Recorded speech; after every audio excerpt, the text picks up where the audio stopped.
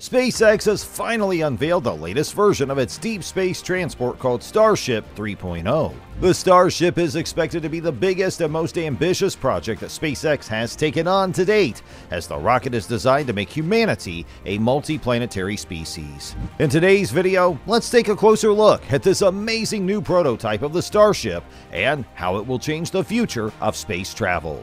Can the Starship take humans to Mars within the next decade, or does it still need further upgrades? SpaceX is actively trying to turn the sci fi dream of a Martian colony into reality. The company is developing a 100 passenger spaceship called Starship and a giant rocket known as Super Heavy, which together constitute a transportation system that Musk thinks will bring Mars settlement within reach at long last. When Musk revealed his idea to the world, he laid out a basic plan a large spacecraft and a huge rocket, both of which will be completely and rapidly reusable. The rocket will launch the spacecraft into Earth's orbit, then come back down to Earth for a vertical propulsive landing. Over the years, the Starship has undergone several design changes as SpaceX continues to perfect the transport and make it as safe as possible for the settlers that will be undertaking the long journey to Mars. The craft includes various amenities for the crew, such as an exercise bay, sleeping quarters, and a fully stocked kitchen area. After all, even astronauts millions of miles away from Earth need a delicious, well balanced meal to get them through their day. While in space, their options may be limited, we back home on Earth can rely on Factor 75, our sponsor for today, to put together healthy, scrumptious meals delivered right to our doorsteps. Factor uses the best ingredients available to put together more than 27 meal options with multiple add on choices, which are then portioned and delivered without being frozen for a single minute. This will help you cut down on food waste as well as prep time and make you as efficient as an astronaut in training. What's more, Factor offers meal options to fit your lifestyle choice, be it keto, vegan, or vegetarian. So hurry up and go to go.factor75.com and use the code FACTORSE33207 for 50% off your first box and start your journey to a healthier, better you. With such lofty plans for the future, a lot depends on the performance of the Raptor engines, which are at the core of every new rocket used by SpaceX, including the Starship. The company makes regular upgrades to the engine to improve its efficiency and reusability. In recent months, SpaceX has used two variants of the engine, with the newer one dubbed Raptor 2. The company states Raptor 2 includes a large number of performance and reliability improvements over the previous iteration, the Raptor engine is a full flow stage combustion cycle engine that runs on super chilled liquid oxygen and super chilled liquid methane, both of which will power SpaceX's next generation vehicle, Starship. The Raptor engine benefits from the highly advantageous FFSCC cycle, maximizing the impulse generated by a given amount of propellant. It is the third FFSCC engine to ever be developed and the first to leave the test stand. The first stage of Starship, called Super Heavy, will be jam packed with 33 Raptor engines. 20 non gimbaling Raptor engines in the outermost ring, 10 gimbaling engines in the middle ring, and 3 gimbaling central engines in the innermost ring. This number is expected to decrease in the future as SpaceX further upgrades Raptor. The Starship currently hosts six total engines, three vacuum optimized non gimbaling engines, and three sea level gimbaling engines. As research and development continue on the Starship, the latest news from SpaceX is that a new prototype for the vehicle has successfully undergone a static fire test of its engines ahead of its first planned orbital test flight. SpaceX fired seven engines on its Starship Super Heavy prototype Booster 7 on September 19th, marking the highest number of the company's new Raptor engines ever tested at the same time.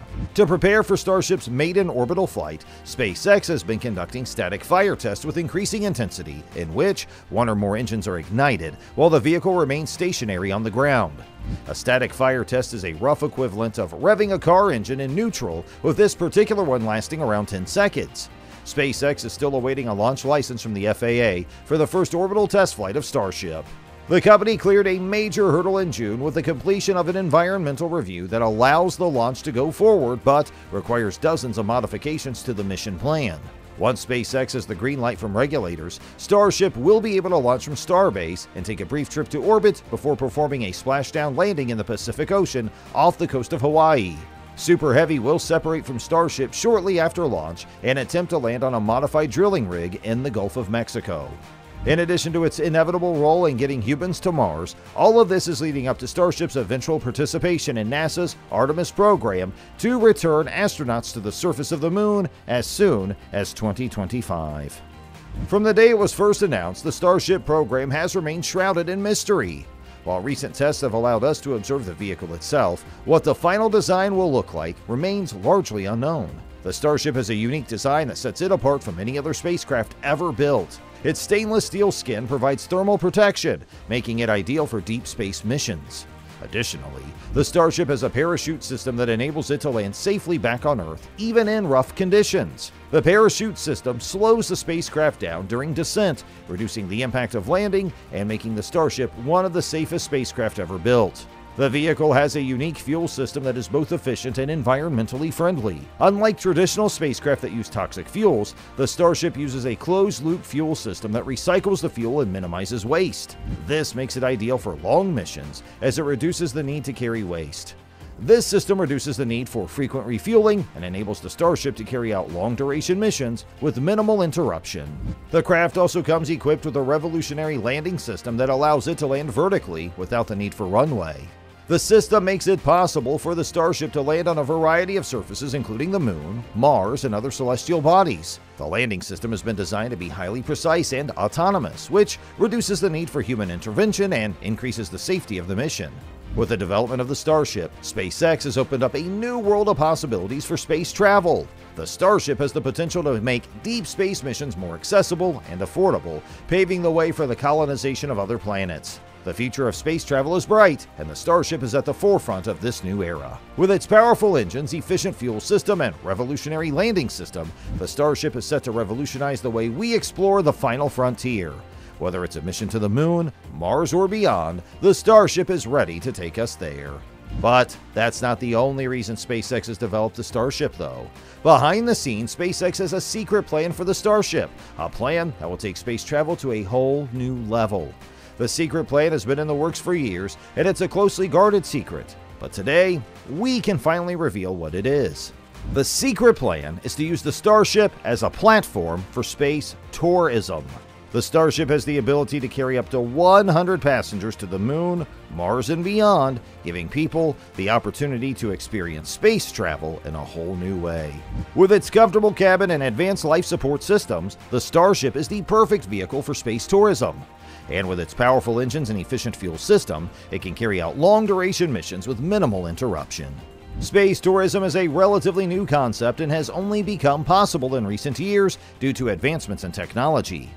In the past, only astronauts and professional space travelers had the opportunity to experience the thrill of space travel.